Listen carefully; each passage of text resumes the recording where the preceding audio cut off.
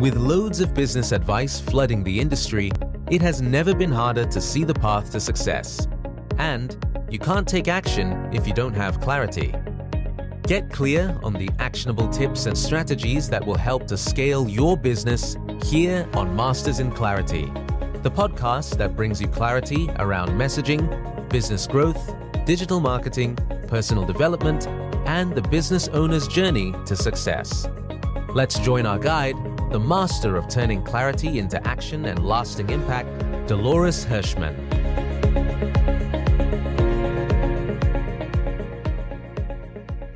I'm so excited to have this conversation with Jen Morilla, someone I've known for a few years now, and I just love her energy, her creativity, and how committed she is to solving big world problems. So, let me tell you a little bit about Jen. Jen is an impact travel influencer, clean water initiator. She uses her influence for good.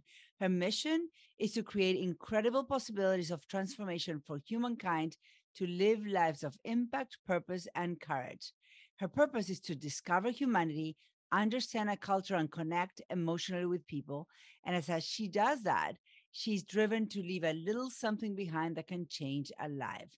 After starting her career in the New York City agency world, uh, she decided to turn what she learned uh, into her master's and undergraduate into social entrepreneurship into action.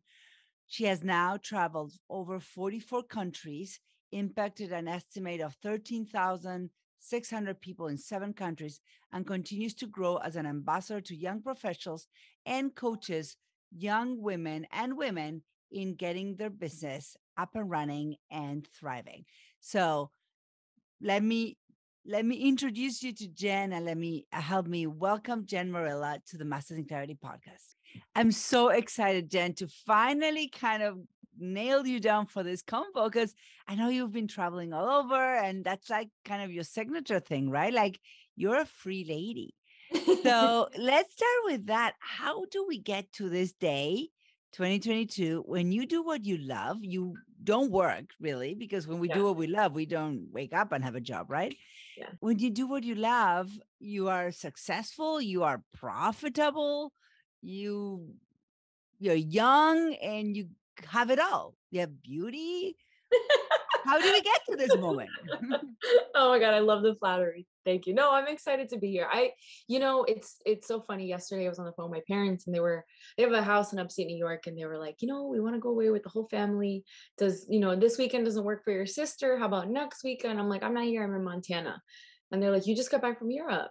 And then I was like, yeah.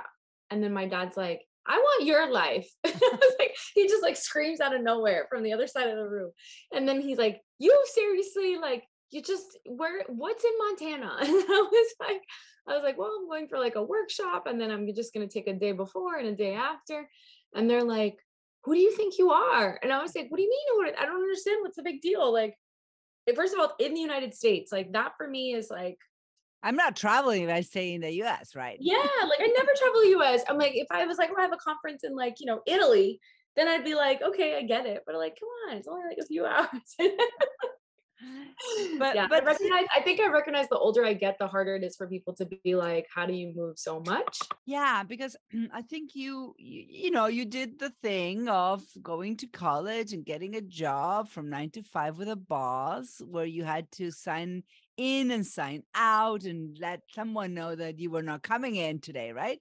Yes. And and you know, and all the way fast forward to today, what was that journey like? And I know there were some bumps in the road, there always are. Yep, um, yep. what was the journey like? And and how what does it look like? Because one day you said, I will be free. Yeah.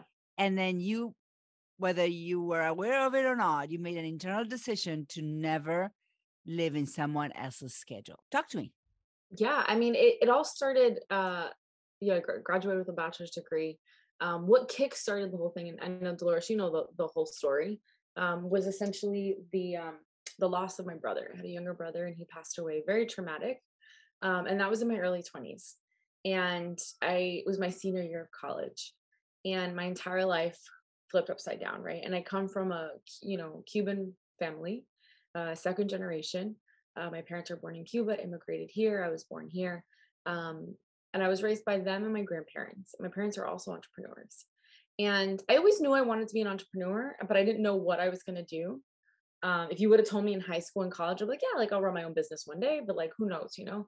Um, and my my brother and I were really close, and I thought I had it all figured out. I was 21, and I thought I had it all figured out. Um, I was gonna get married, I was gonna have babies, I was gonna buy a house, and everything was gonna work accordingly. Um, and then it didn't. Mm. and so I graduated from university. Um, and it was the year my brother died, and I almost didn't graduate to be honest. And then I, I started working um, for two years, and then I went back and I did my master's. Um, and then after I did my master's, um, I came back to the U.S. and I worked again in corporate for like three years, and um, I was pretty miserable from the inside. From the outside, everything looked great. I was living in New York. I was working in New York City for a marketing agency as an account manager. I was making good money. Um, I was living life. And for me, it was the constant routine and having to be, I don't like to be told what to do. I really don't like to be told what to do. And I should have known that. My dad has said it to me when I was a kid. Like, I really don't like to be told what to do. Um, all my boyfriends, ex-boyfriends learn that. Like, do not tell me what to do. My current boyfriend, my current boyfriend now gets it. He's like, I just let you do whatever you want. like, there's no point in it. It's like, I'll suggest like, but you know, at the end of the day, you you are a woman of your smart man. yeah, yeah, very smart man. My dad says it. He's like, good man, good man. Um, so it, it really was um, when I was working at corporate, uh, and I loved my boss. I loved my team. Um, but I kind of had my come to Jesus moment, you know, where I recognized like I'm not happy. And I believe we are the creators of our reality. We are the co-creators. We co-create every single day.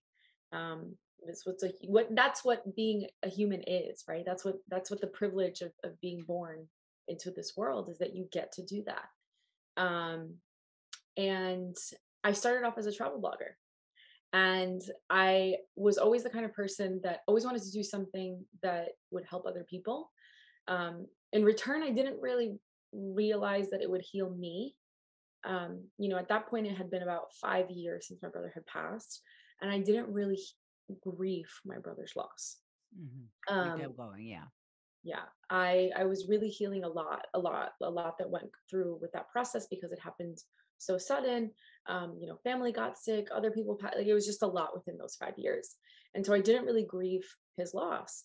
And so um, I I said, okay, I'm going to quit my job and I'm going to leave and I'm going to travel the world with clean water filters, and I'm going to become a travel blogger. Like if there's anything I know, it's marketing right? Like I know that if you're going to do something, you got to find a niche and you got to stand out and you got to be different.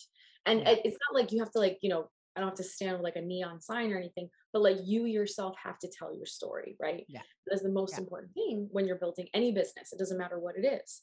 And so I started pitching to brands and telling them the story and and it worked. And lo and behold, you know, I did that for about three and a half years and it was good. It was a good run. I learned a lot about the influencer industry and, and the marketing industry and all this stuff and and you know um, i don't regret it because i got to travel the world and essentially i got paid to do it. Um, mm-hmm. i never made as much money as i make now uh, which means i never hit six figures. Uh, the most i ever made in my business was about 80000 90 almost close enough.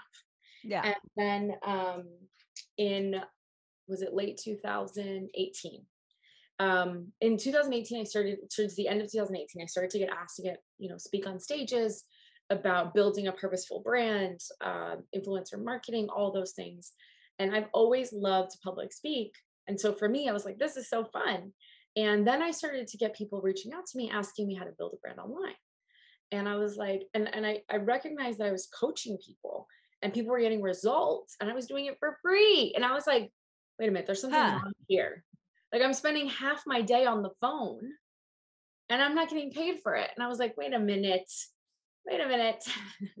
so I, I created my very first online course and it was how to build a bit uh, an online brand. And that was my first $11,000 launch. And I remember like the, I, I did a, a Facebook live. I did a Facebook live um, and then pitched at the end of the, you know, the hour and the Facebook live, the, the program that I created And within the last 15 minutes, I had two people buy right away. And it was a $500 course. And when I tell you that as soon as the, the live finished and I closed my laptop, the tears were running down my face. So I was so happy because I couldn't believe it. Like somebody within 15 minutes, just I made a thousand dollars. I was like, what is this? And then as the days went on, it just kept going and going. And so I was like, oh, there's definitely something here. And so I, I began to pivot in like November, December of 2018. And then those three months in September, it was so funny because my accountant was like, what have you been doing?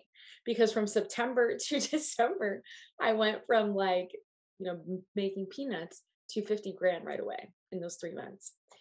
And um, yeah, and then 2019, I really just took it off. I relaunched my YouTube channel and then I began to pivot. And then, well, we all know what happened in 2020.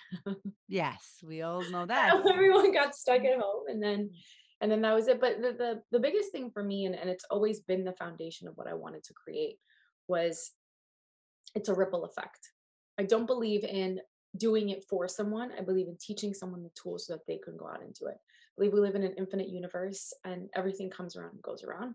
There is enough for everyone if you believe there's enough for you, right? Mm-hmm. And that's something that you have to internally internalize and recognize, right? If you actually believe that there's enough for you. Um, and so I give my clients the tools to be able to grow um, and monetize and create life the lives that they want to have to travel to make money to be with their families and it doesn't have to be you know building an online course or being a coach it's just doing the things that they love. I work with women who you know who want to make you know enough money to be able to support their family and not have to travel the world and do all things they just want to spend time with their kids you know and that's beautiful uh, so yeah i mean to me the, the biggest thing is to be able to create a life that you're happy and you're proud of. You know if you came to me and you were like i want to make donuts like let's make the best fucking donuts in the world. Like you know what i mean? Like exactly. let's do it. Yeah. And so so yeah that's that's essentially the, the how it all started and how it kicked off. I love that. And I love how, you know, for most of us, people people say, Well, I want to start a business and I want to go and charge 10 grand for an hour with me and whatever. Mm-hmm. I love how you the business led you. So there was no no no second thoughts or self-doubt in the sense of you were already creating an impact. You were just not aware of it or not hadn't structured it as a business just yet. So by the time, yeah, there's always the the first sale and the first moment yeah. um but it was seamless you knew you were adding value you were, you put value over first over making money and so the making money just followed and and and and today i know you are very specific in who you work with because i know you work mostly with women yeah. and you get them to the first six figures. three like six figures like the first three numbers on the other side of the comma, right? Like, like, the, like the hundred thousand dollar mark, which is for any business owner. What is it that they say that um, only one or only five percent of business owners reach the six figures in the first three years, or some statistic like that. So you actually are committed to making these women not just start a business but stay in business. I think that's the hardest thing. You know, I think I've worked with so many people in all the years, and I can the moment I get on a call with someone, I can I know who's gonna stick around. Uh and it's just like um it's just like dating. it's like I don't know. I don't know if you remember the story. So I know you're married. You've been married for a long time. Oh yeah, time. I remember dating. but I'm like, not that old. go on a date with someone, and in the first five to ten minutes, like I could tell, like this is gonna, this could continue, or this is gonna end here. You know what I mean? Um, and it's the same thing with business right it's it's the the passion that people have it's the drive the biggest thing is the why that's that's the why and so let's let's dig into this because we can talk about other things but my experience of the six figures it took me three years to go from zero to a hundred it took me one year to go from 100 to 200 mm-hmm. literally like one month mm-hmm. what is it there's like there's a something from there's the 45 yeah. been trending 45 which let's talk it in monthly numbers i would say i would say that the sweet spot is between 80 and 100 like just that little hump yeah so from the seven grand a year uh, uh well six grand a year to the 10 grand a year well you really need to we need to make eight thousand three hundred dollars yes, to be exact Yes. eight thousand three hundred thirty-three dollars a month will get you a hundred thousand dollars. And I remember the year that because I was in a program that if I made a hundred, I could advance to the next level. Yeah. And yeah, I wanted to be with the cool kids. Um, and I remember, and I'm and I'm very actually, I can't unfortunately I can't make things up or lie. I just I can't. So I had to do it for real. And I Yeah. made a hundred and one. And so now I qualified. yeah. Um, but what is it? So it's an average of like the from the range of four, five thousand dollars a month to the eight thousand three hundred Yeah. is the biggest step. What is it? it's not that somebody can do it you can do it one time right? So usually people that come to me they'll be like okay i hit you know $8000 last, Last month but now i'm at three or i'm at two. Like how do i do it consistently? And i think it takes honestly i think it's it's two things. Number one recognizing that you have a business. And what i mean is is that love you're so wired to work for other people that when you become an entrepreneur, it is all on you. And I know you're like, well, of course, you're everything. If somebody's listening to this, you're like, duh, that's logical. I'm like, no, but like, take a second. Like, the way your brain is actually wired is that you're always asking for permission to do the next thing. So when you're building a business, the person that you have to ask permission for is you. So what happens if you don't trust yourself? What happens if you don't think you're worthy of receiving money? What happens if you don't think you're you, you're capable of helping other people? You stay stuck in where you are. You're not going to grow. And you do the dance where you have a nine to five and you have a passion, or you've quit your nine to five and you're struggling hard to make ends meet. So you're still doing the little odd odds here and there, but you won't commit to building that business, right? And that is the difference. That is, I would say that's like 80% of what happens when people come to me, right? Most of the time, other someone else is running their business. And what I mean by someone else, it's their clients, it's the fear of failure it's their family and friends and and what they're saying behind the scenes because they quit their job and all the things. When if people could just recognize like you own a business. If you had an actual brick and mortar if you've paid to rent a spot you would not be second guessing yourself whatsoever because you have rent to pay. Versus when you are a service provider and you're in the online space you're working from home. So there And is I'm that taking a week off and, And my so mom wants me to go for lunch. Exactly. So that is the biggest, the biggest thing that I think stops people. The second thing is when you see the numbers. And by the numbers, I mean mm, get crystal clear on how much you're making and how much you're spending and how much you actually need to make in order, like work backwards in order to reach that $8,000 mark or $10,000 a month mark, right? Like how many packages do you need? How many clients do you need? How many do you actually need to sell? And then fucking sell it. If you need to sell five spots to hit five grand to meet that $10,000 mark, don't, you know, post a post or like get one story and then be like, well, you know, nobody listened. You posted one time. Like, keep going. And then it, I mean, it's a full circle, right? Because people don't show up because they get scared or they get nervous about what people are going to think. So, So so I love this because there is a like a like a like a you can call it a vortex yeah. or you can call it a Bermuda Triangle of Cool. people getting lost in that like you know five three to five a month all the way to the eight. And Yeah. most of us, I, and I remember myself at the time, it felt like a brick wall. Yeah. And we went at it in a tactical way. Like, oh, I need to fix my website.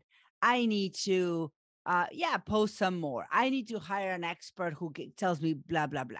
Mhm. And what you're saying is that that all could work, but if foundationally you are in a hobby business, you don't take yourself seriously, you don't have boundaries with your family, and you're not really committed, you can throw money at the problem with experts, you're not going to do it. So, so I think it's this game it's your brain it's it's so much brain of your brain that like it's so much of you that keeps you stuck in your way and when you recognize that that's when you're able to make that a game changer.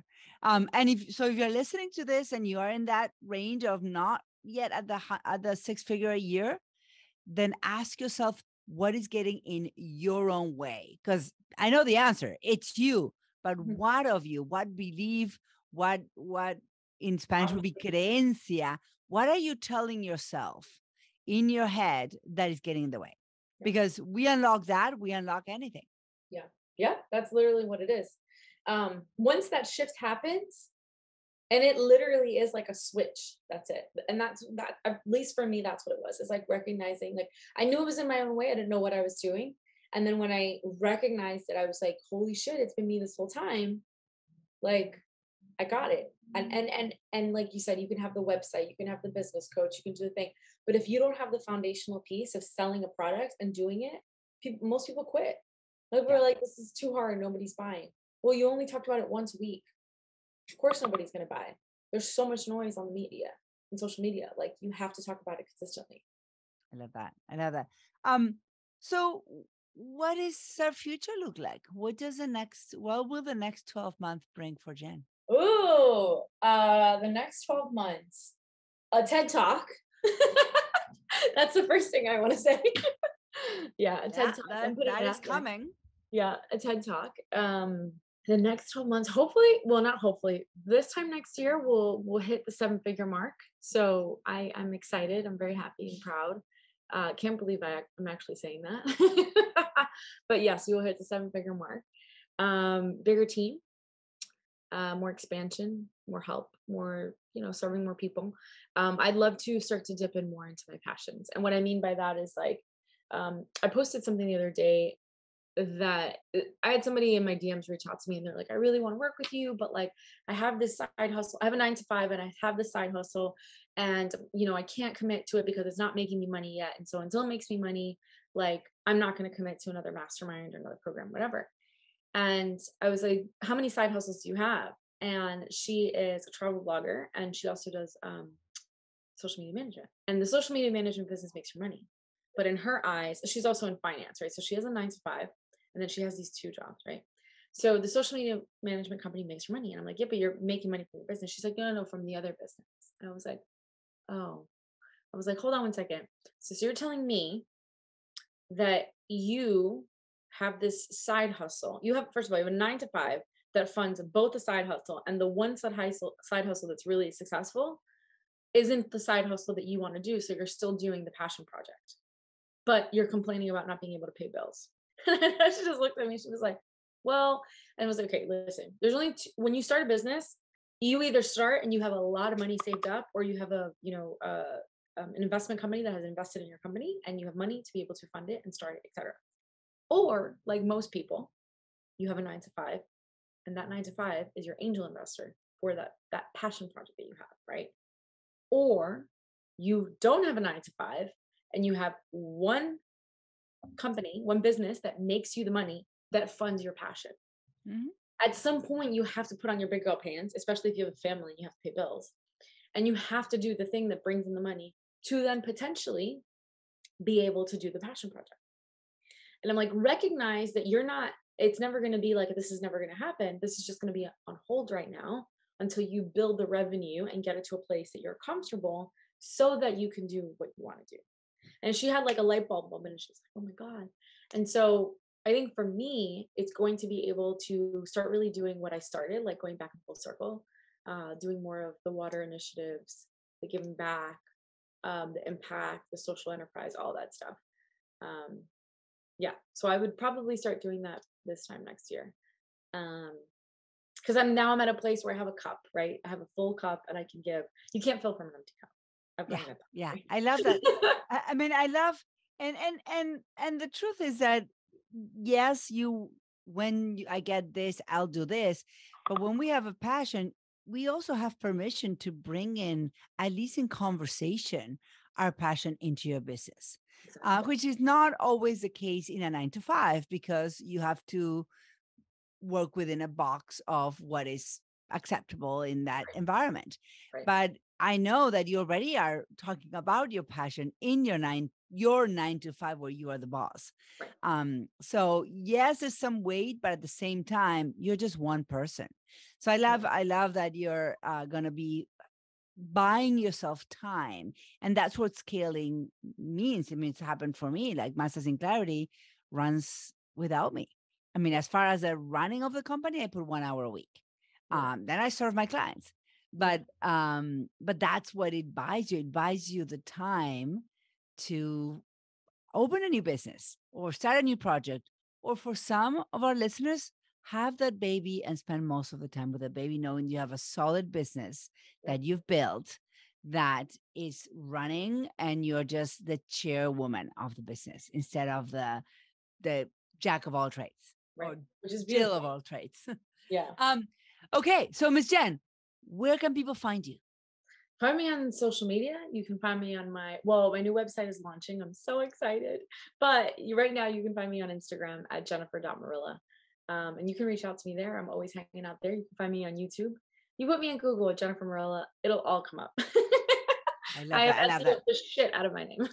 I love that. So go ahead, go Google and stalk Jen Morilla, M O R I L L A, in Google. And thank you so much for bringing your wisdom and hanging out with us. Thank you for having me. This was awesome. Bye. So, how do you get to six figures? And what is it in the journey to six figures that would get in the way? And if you think it's something you don't know, then listen to my interview with Jen Morilla, and you'll discover that what you're missing, the one thing you need to do to go to your six figures in your business, is actually easy to find and you have it right under your nose. So check it out.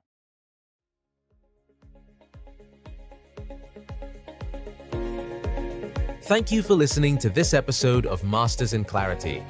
If you loved today's show, please subscribe to our podcast and leave us a review.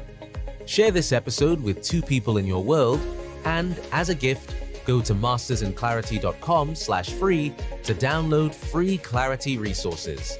Join your host, Dolores Hirschmann, next time to continue forging a clear path to your impactful success.